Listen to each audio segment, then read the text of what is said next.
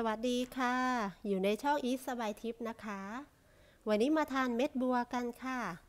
พอดีวันนี้ลูกค้ามาจากต่างอำเภอนะคะอำเภอชุมแสงตำบลเกยชัยอำเภอชุมแสงจังหวัดนครสวรรค์เขาจะมีเม็ดบัวจำหน่ายค่ะ พอได้มาอีกก็แกะด้านหลังออก แล้วก็แช่ตู้เย็นไว้สักพักหนึ่งนะคะ แล้วก็จะมาแกะใส่ถ้วย แกะเป็นเม็ดออกแล้วก็ใส่ถ้วยไว้ เอเขาเรียกว่าอย่างไงนะคะมเมล็ดหรือเม็ดบัว อันนี้ก็ยังสงสัยอยู่ค่ะไม่แน่ใจ เพราะว่าไปเปิดในใน Google อะไรอย่างเงี้ยค่ะ บางคนก็เรียกว่าเม็ด บางคนก็เรียกว่าเมล็ด แต่ไปดูในพจนานุกรม หาคำว่าเมล็ดหรือเม็ดไม่เจอนะคะ ไปเจอคำว่าดีบัว แต่ในนั้นเขาเขียนว่า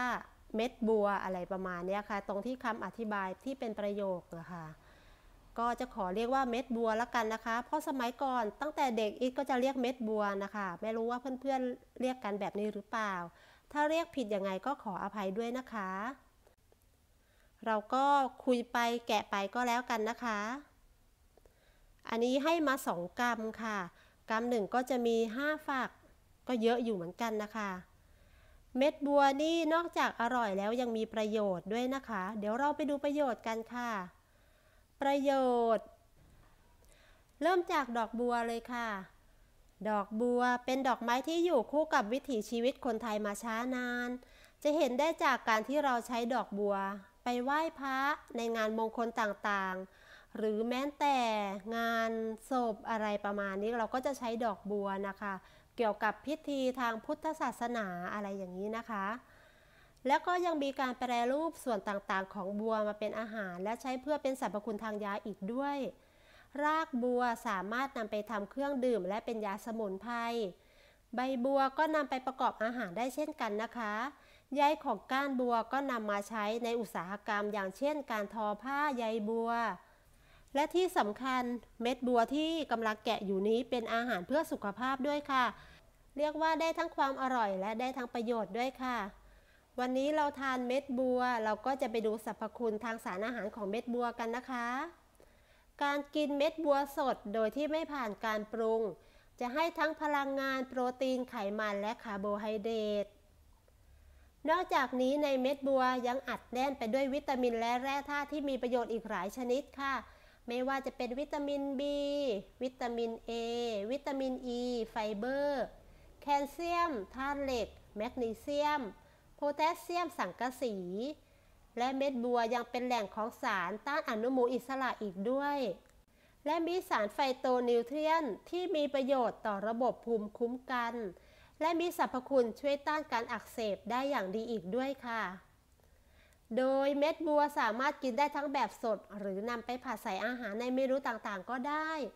ที่เคยทานตอนใส่ขนมก็จะมีขนมหวานนะคะ ริมน้ำที่ที่มีขนมหวานที่ใส่หลาย ๆ อย่าง เชงทึง แปะกล้วยอะไรประมาณนี้ค่ะ รวม ๆ กัน แล้วก็บางร้านเขาก็จะเอาเม็ดบัวมาโรย บนหน้าไอติมอะค่ะ บนหน้าไอศครีม เวลาทานบัวก็จะรู้สึกอิ่มได้นานทำให้เราอยากอาหารน้อยลง อันนี้ อันนี้อาจจะมีผลต่อการช่วยลดน้ำหนักให้ด้วยนะคะสำหรับสาวๆอวบที่อยากมีหุ่นดีๆ อะไรประมาณนี้ค่ะ ก็ลองทานเม็ดบัวบ่อยๆ ดูนะคะ จะได้อยู่ท้องจะได้ไม่ไม่ไม่หิว แล้วก็ไม่อยากทานอย่างอื่นนะคะ คาดว่าจะเป็นอย่างนั้นนะคะ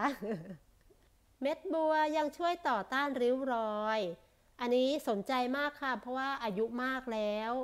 ริ้วรอยนี่สำคัญเลยใช่ไหมคะสำหรับผู้หญิงเราๆหรือไม่ก็ผู้ชายก็เช่นกันนะคะพออายุมากแล้วริ้วรอยก็เริ่มจะมาใคร ๆ ก็ไม่อยากมีริ้วรอยเนาะอีกก็ไม่อยากมีค่ะ ในเม็ดบัวมีเอนไซม์ที่มีประโยชน์ต่อการต้านริ้วรอยแห่งวัย ช่วยในการรักษาและซ่อมแซมโปรตีนที่ถูกทำลาย และกระตุ้นการสร้างคอลลาเจนในร่างกาย ด้วยเหตุนี้ในอุตสาหกรรมเครื่องสำอางหรือผลิตภัณฑ์เพื่อผิวพรรณ จึงมีการใช้สารสกัดจากเม็ดบัว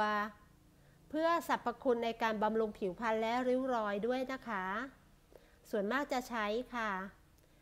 เม็ดบัวยังดีต่อสุขภาพของหัวใจ เพราะว่าแมกนีเซียมจะเข้าไปช่วยเพิ่มปริมาณของออกซิเจน และกระตุ้นการไหลเวียนของเลือด และสารอาหารช่วยให้เลือดสามารถไหลเวียนไปอย่างหัวใจและส่วนต่างๆ ในร่างกายได้ดีขึ้นแล้วก็ยังดีกับ ผู้ป่วยโรคเบาหวานด้วยนะคะ เพราะว่าผู้ป่วยโรคเบาหวานจำเป็นที่จะต้องมีการใส่ใจในระดับน้ำตาลในเลือดอย่างสม่ำเสมอ หากระดับน้ำตาลในเลือดพุ่งสูงขึ้น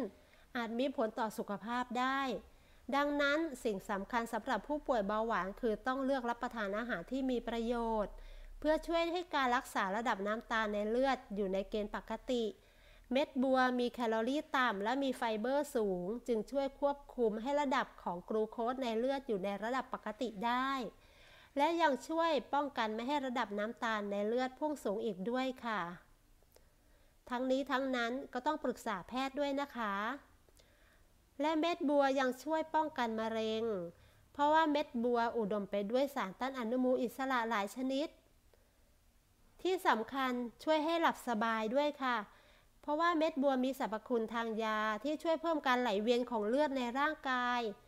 อันนี้ก็ดีนะคะอิดว่า เพราะว่าบางครั้งอายุมากอายุมากอีกแล้วพูดถึงอายุมากอีกแล้ว รู้สึกจะแก่แล้วค่ะ ระบบไหลเวียนโลหิตทำงานได้ไม่ค่อยดีอะไรอย่างนี้ค่ะ เวลานอน ก็จะไม่ค่อยหลับบางครั้งบางครั้งเราก็ไม่ได้คิดอะไรมากนะคะ แต่ว่ามันนอนไม่หลับไปเองนะคะ อาจจะเป็นเพราะว่าการไหลเวียนของเลือดในร่างกายไม่ดีพอ ถ้าทานเม็ดบัวเข้าไป เขาบอกว่าให้ทานตอนท้องว่างก่อนเข้านอน อาจจะช่วยให้นอนหลับได้ดียิ่งขึ้นค่ะ อันนี้เดี๋ยวต้องลองเองแล้วนะคะ แต่ถ้าเกิดเพื่อนๆที่มีโรคประจำตัวอย่างโรคหัวใจอะไรอย่างนี้นะคะ ถ้าจะทานเม็ดบัวในปริมาณมาก ๆ อันนี้ก็ต้องปรึกษาแพทย์นะคะ เพราะว่าอะไรก็แล้วแต่ที่มันมีผลดีมันก็จะมีผลเสียด้วยค่ะ ถ้าเราบริโภคมากเกินไป ก็มีทั้งคุณและโทษนะคะ แต่เม็ดบัวนี่สำหรับคนปกติแล้วจะมีประโยชน์มากกว่าค่ะ นี่ค่ะ แกะเสร็จแล้วค่ะ ได้ถ้วย ได้ถ้วยหนึ่งเลยนะคะเดี๋ยวเราลองผ่าดูนะคะ ว่าข้างในดีบัวจะเป็นอยังไง เพื่อนๆเวลาทานเม็ดบัวแล้วชอบแกะข้างในทิ้งไหมคะ สมัยเด็กๆอีทานนี่ข้างในมันจะออกขมๆนะคะ เราก็จะแกะแล้วก็เอาไปทิ้ง แต่จริงๆแล้วดีบัวตรงนี้แหละค่ะ ที่มีประโยชน์สูงสุดละเพราะว่าดีบัวมีสรรพคุณ ช่วยบำรุงหัวใจกินแล้วหัวใจชุ่มชื่นนะคะ ส่วนที่ดีที่สุดของเม็ดบัวนะคะ ก็คือดีบัวที่อยู่ด้านในนี่เองค่ะ ตอนเป็นเด็กๆเเวลาเราทานเม็ดบัว ส่วนมากเราจะแกะออกใช่ไหมคะ เพราะว่าเราจะรู้สึกว่ามันขมนะคะ มันมันก็คือจริงๆแล้วมันก็คือต้นอ่อนของบัวนี่เอง มันจะมีใบให้เห็นเห็นไหมคะ ถ้าเกิดเม็ดที่แก่มากๆ มันก็จะมีใบ แต่บัวที่อิทแกะอยู่นี้ ยังไม่ค่อยแก่เท่าไหร่ค่ะ ลองผ่าดูนะคะ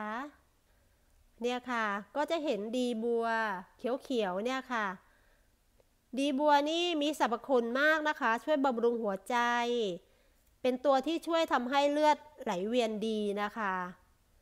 เดี๋ยวลองทานดูนะคะ อืม อร่อยเชียวค่ะ บัวที่ลูกค้าให้มาอันนี้น่าจะเป็นบัวหวานนะคะ เพราะว่าข้างในดีบัวอันนี้ไม่ขมเลยนะคะ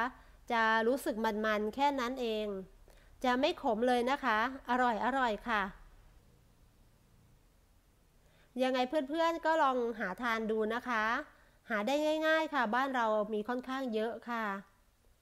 อย่างอีทในตลาดนี่ก็มีขายค่ะ แต่ไม่ค่อยได้เดินไปเท่าไหร่นัก อันนี้ของฟรีค่ะของฟรีไม่เสียตังค์ขอจบคลิปแค่นี้ก่อนนะคะบ๊ายบายค่ะอ๋อหรือบอกค่ะ แกะแบบนี้แล้วเอาไปแช่ตู้เย็น เวลาทานทานเย็นๆจะอร่อยมากค่ะ ขอจบคลิปจริง ๆ แล้วนะคะ บ๊ายบายค่ะ